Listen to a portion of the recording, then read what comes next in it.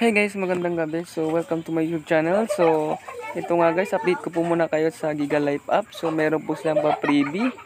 As you can see guys, so ito po ang free 919 MB for Instagram and Facebook. So, ayan, i-claim po natin guys. So, get my, get my free data. Click natin yung get my free data.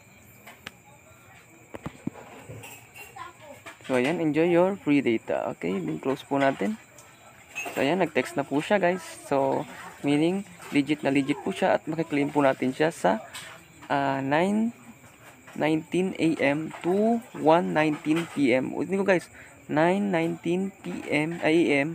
to 1.19 p.m. So, ayan, guys. So, check po natin yung usage, natin kung na-claim po talaga.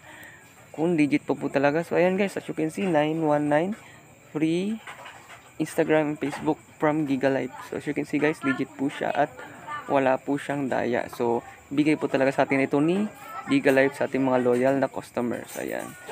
So ayan guys, so oh, sa mga gustong makakuha nito is ulitin ko po guys is is araw-araw po siya from 9 AM to 9 PM ah 9.19 AM to 1.19 PM. So ayan guys, ulitin ko guys, bago po mag pag pag 120 na po is di na po siya makipwedeng i-claim. So ayan, as you can see sa mga mes message ko din po, ayan.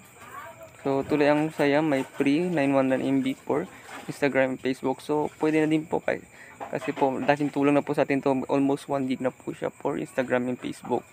So ayan guys, in-update ko lang po kayo about sa Giga Life app. So okay, sa mga bago pa lang sa YouTube channel ko, please click po subscribe at hit yung notification bell para lagi po updated sa mga bagong upload na videos. So, yun lamang guys. Maraming salamat.